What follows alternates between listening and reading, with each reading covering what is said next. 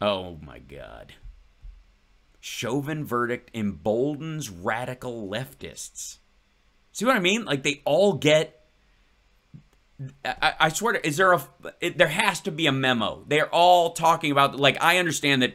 Like when there's breaking news, if you go to CNN and MSNBC, they're to be covering it by and large. But the narrative is going to be fairly split. Obviously, you're going to see a more center left thing on MSNBC than you're going to see on uh, you know on CNN, and depending on the time of the week, you're going to see people go more left or more right. Um, you know, like the, the, from Chuck Todd to Joy Reid, I suppose there's some vacillation there, or Reverend Al's show. But good God! And by the way, uh, we we all I'll show you him losing his shit later because I think he's. I think somebody's looking at the numbers I'm getting on the internet with my giggle fits and going, maybe there's money in this. A lot about what justice is. He joins I'm gonna tell you, listen here, son. Who did he who? Now I'm coming down here and tell you what. Us tonight, Senator. Thanks so much for coming on. I'm not a lawyer, as I know that you are, but my understanding. I'm not a lawyer, as I know that you are. Was you assessed the justice rendered in the case on the terms of that case? So yeah, that's what you did. You don't do it because lefties, you know, want you to throw somebody or they're going to burn your house down. That's not how justice is supposed to work, is it? Confused look, confused look, confused look. If a guilty person is convicted, that's justice. Why is this case a referendum on the whole country? Well, it sure ain't. Let me tell you something here to hooty hoo. I'm listening to the Congresswoman. And I, I just realized while you were talking that I left my teeth at home. And I'm thinking, no disrespect, but how, how does anyone get to be her age and, and, believe that drivel? I don't know what clip they were playing. I don't know if it's the AOC. It's probably the AOC clip. That was what was making around about her going, "This isn't justice." Uh, was, you know, justice would be George Floyd not being dead because of the crime that he was actually stopped for not being a capital crime. I mean, beyond the actions of Chauvin and all that stuff, that the spiral down, that that a uh, that a kid with a gun who had just dropped it, who threw his hands up, that there would be some other option in dealing with a circumstance like that, even available to the cop, because the cop, it's not justice that the cop has to carry that death with them everywhere they go. I mean, literally, if you'll recall, Al Powell, the cop in Die Hard, who he talks to all the time, is on was uh, taken off patrol, was on his way home, but he couldn't he had a desk job because he had drawn his gun on a kid with a toy gun and killed him. If you'll recall that's the plot point of of that character in die hard that he can't even do it. And he's talking to a guy who can't get his hands on enough guns in a circumstance trying to keep him alive. Um, this to me is what this is all about tucker. Yeah okay so it was the aoc this is what it's all about tucker. Hoo no fair minded person believes that cops, many of whom are racial minorities, get up every day and go to work hoping for the opportunity to be able to hurt someone. Um, I don't think that's what she was saying. Did, I'm sorry, did I miss that part of the clip? Did they play a part of the clip where AOC was like, you know, cops wake up every day hoping to crack some heads, especially the women and the black ones? What? Including but not limited to people of color of cover. that just in case you don't know, um, black people, Hispanic people, Asian people, Native American, AAPI people, those are people of color to him, and people of cover wear a sheet with the. It, it, well, he can tell you more about it. he considers himself a. I consider myself a person of cover. It's not really a cover; it's a sheet. But you know, person call me a duvet American. Just cut two holes in it; it'll work. That's nonsense. Get me on down there. But the wokeristas. The wokeristas. Oh. I see, because she's of Mexican American or Spanish heritage. Wokeristas. Wokeristas. It's a little sad when your your key uh, he is a duvet American. I'm a duvet American. the wokeristas, Mr. Wokester over here. Like the congresswoman. They really believe that. No, they don't. No, they don't. They really do hate cops. Just be- no, she doesn't. Because they're cops. No, she doesn't. She does not hate cops just because they're cops. The only people who hate cops just because they're cops are people who are driving with expired tags. And I guess, you know, oh, you know who hates cops just because they're cops? Cartels. They really do want to defund the police, which will result in a, a, a fantastic impression of hell. A fantastic impression of hell. By the way, if you haven't seen uh, Senator Kennedy's uh, uh, impression, his his impression of hell, it's fantastic. He opens his mouth. His breath does most of the work. The the wokeristas. Wokeristas. God damn, dude. You actually think that's clever? That's really where that's wokeristas. That's where yeah. The wokester. Wokerino. Really do believe that when a when a cop shoots a criminal, when a cop shoots a criminal, it is always, every single time, the cop's fault. No. No, they don't. Clearly they don't, or they wouldn't bother to say the phrase like unarmed most of the time. Right? But when Wokatola. Wokalicious. Yeah. A criminal shoots a cop, it is always, every single time, the gun's fault. Oh, I see. Now it's a now it's an NRA issue. That's it. Criminals don't shoot people. Guns shoot people, uh, but only cops. Uh, the, these folks really do have contempt for America. They should have gratitude.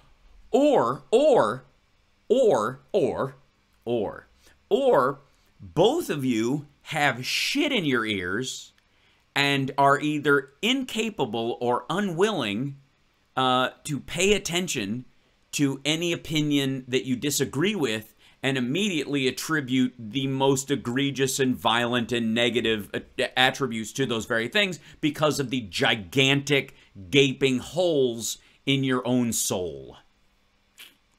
Gratitude, but they have contempt. And they're not happy and won't be happy until they take a sledgehammer.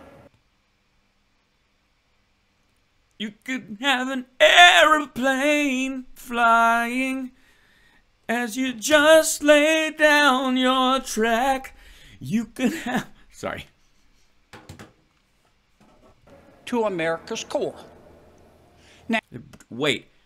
To bring a sledgehammer. Listen to this, fuckhead to bring a sledgehammer to America's core. Till they take a sledgehammer to America. Reminder seven, 15,000 police killings since.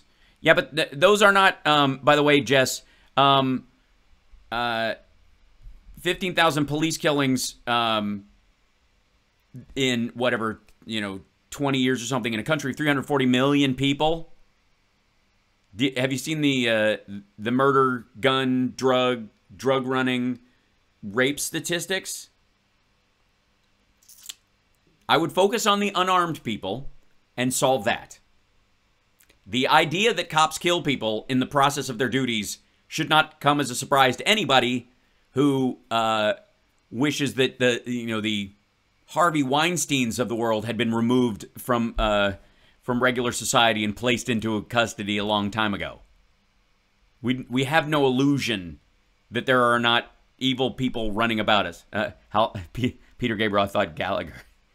Because core. If the core is racist, bring it. Well, it isn't. If it was racist, then you wouldn't seek to make it work at all.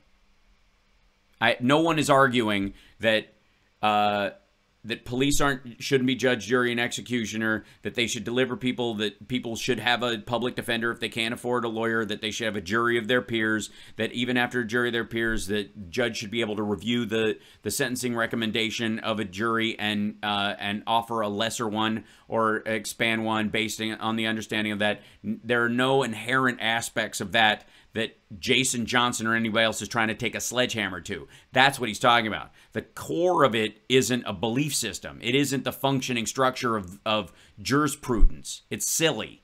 No one is arguing that. No one. Now, you're, you're saying to yourself, probably, look, this is America. You're entitled to believe what you want. Well, yeah. I mean, I am I am I'm looking at two anti-vaxxers. I think. And, and I agree with that. Okay, you just not, and you're allowed to say it, and you're allowed to vote people for people who you believe will uh, express that on uh, the floor of the House and Senate, and that those people will present bills that are an indication of your desires, and that those bills will be become law, and as long as they're within the realm of the Constitution, will remain law and affect how things go. No, no, is that that's not where you're going? And I have hope for them. Um, jellyfish have survived 650 million years.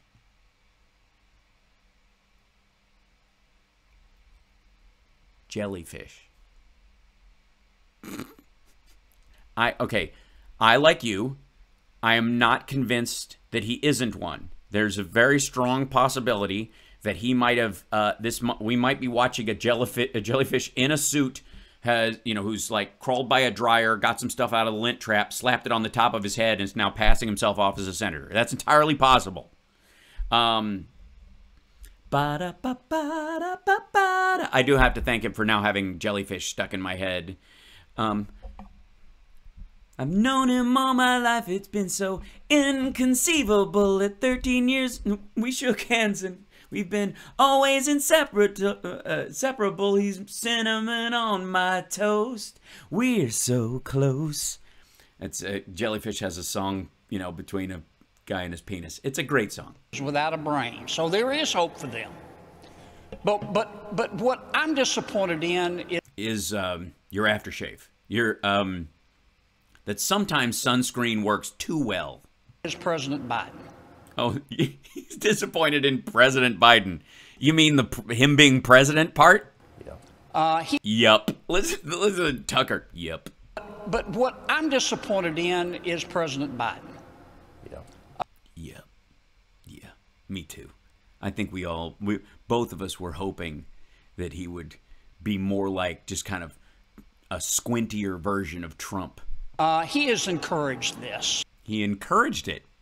I listened to him last night. That must have been terrible. And he knows better.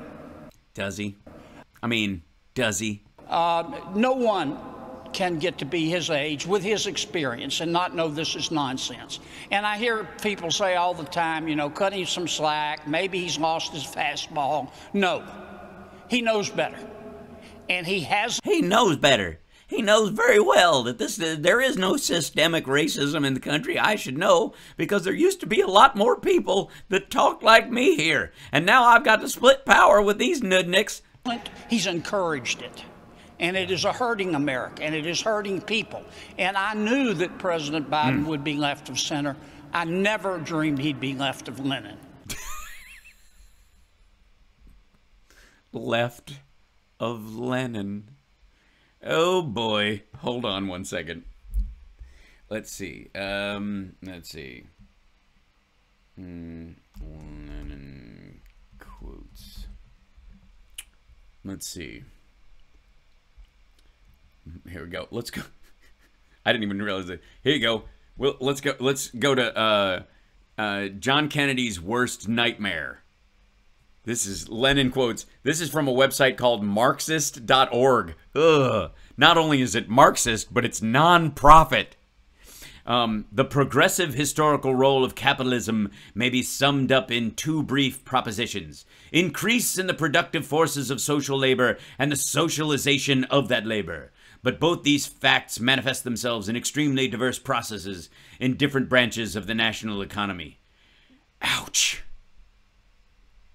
Perhaps the profoundest cause of disagreement with the Narodniks, mm-hmm, not no relation to the Nudniks, those are the people that John Kennedy has to serve with, is the difference in our fundament, fundamental views on social and economic processes.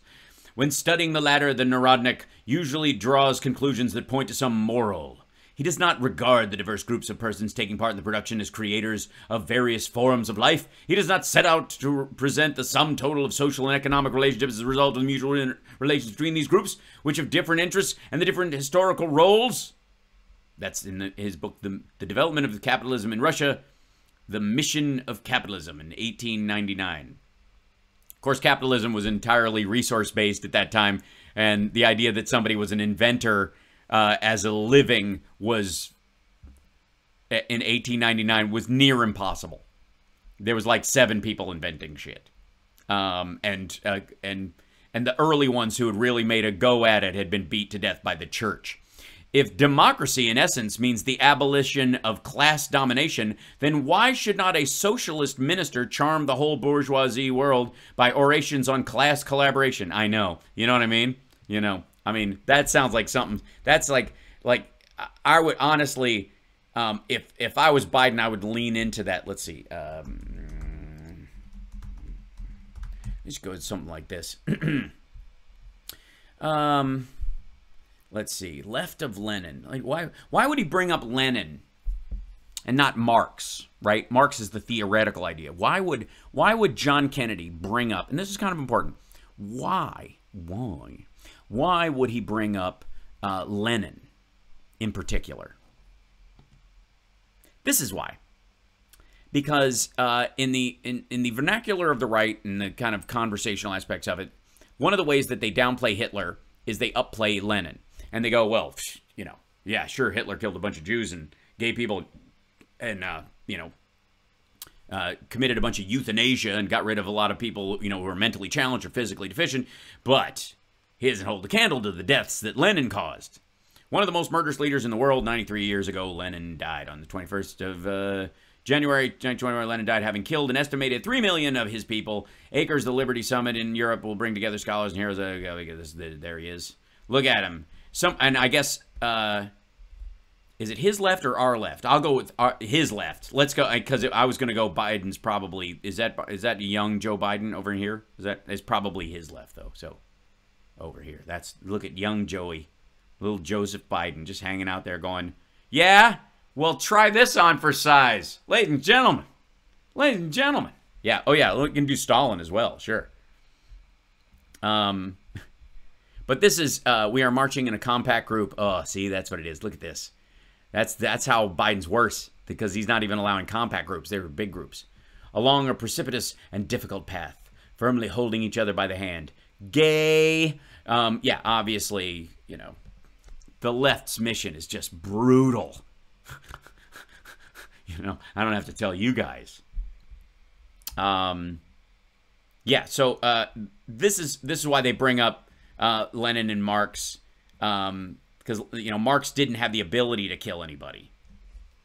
I mean, I mean he uh, he obviously you know in this whole like Democrats are the real racists kind of thing. I'm surprised they don't bring up Marx more because he did he did he was a big fan of racial epithets, particularly ones towards black people. Um, he wasn't particularly friendly, um, and the system that he was kind of talking about was meant to be, uh, you know, racially homogenous and exclusionary. So that you know, yeah, well, there should be Marxism in other countries, but those people should stay in those countries and do them there and not come here, unless they're really hot or something. Oh, uh, was Lenin leading a, a riot at, and looting? Yes, he was really good at it. Um, kill millions and get away with it. Yeah. like wood. I don't. Uh, yes, I have. I um. That's on my other computer. Um. So I don't. Uh, did I move? Is that in there? No, I don't have. I have to. I have to move over the. Uh, um. Great to be with you, Dick. Thank you. And we developed just some very good friendship. I only have a few in here. You know, what the hell. Good old boy syndrome is what I call it. That's what I think when they're when it's you know when you're hanging out John Kennedy and, and Tucker Carlson. I let me uh, yeah okay. So I've got another couple minutes. Let me see if I can uh, bring up the Tucker Carlson laugh thing because uh, that's so odd. Um, yeah, man, it's even a. I it's.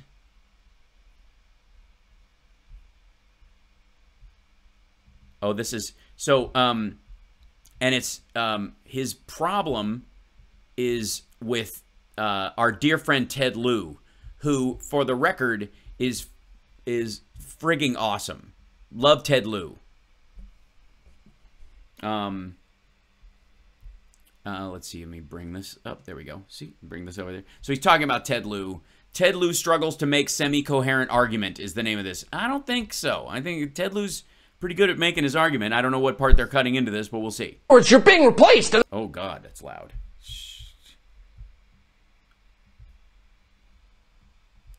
And by the way, um, this is uh, understand. I guess looking into this, that his laugh, his exaggerated laugh, is him trying to um, say that this idea that we're talking about white replacement, uh, and that's what our fear is. What I've been arguing on the show. That in and of itself is absurd. That's so he's laughing at it as such. Okay, just to be clear, that's why beyond him, him becoming a lunatic, the reason he's exaggerate laughing is because it, it's he's for all the practice he's had, he's actually a fairly shitty liar. Or it's you're being replaced, and there's nothing you can do about it. So shut up. or it's you're being replaced, and there's nothing you can do about it. So shut up. He's just reenacting uh, what what the Fox exec said um, to him and why he's being moved to Fox Nation, and then they're gonna punt him off uh, of, of the night. They're gonna give him his own, give him a chunk of Fox Nation, and then slowly but surely scoop him out as they put other people into his time slot. So that's it's not really the Ted Lieu thing. Or it's you're being replaced, and there's nothing you can do about it. So shut up. I mean, that's a, that's that's a, like speaking. I mean, that that laugh is so classic. I'm surprised Dean Cain hasn't. You know, it, they're not giving it best laugh in a 1950s sitcom. Um, it's a uh, you know, I will say that I I definitely lose it on the show sometimes and crack up. Largely because of the level of absurdity that I deal with on a regular basis on the show, and I think it's uh, it's well warranted. But at least mine is friggin' genuine. You know what I mean? Like, I try not to. Sometimes it's just so goddamn funny that I can't, I just lose it. He, eh, eh, like, that's contrived. This is a guy trying to sell his own I'm happy to a uh, to people. That I mean that is a huge huge thing. Um, he doesn't feel comfortable enough to just be um, exasperated at his own thing. He has to make it absurd and laugh. Yeah, I'm when I'm laughing, I'm laughing.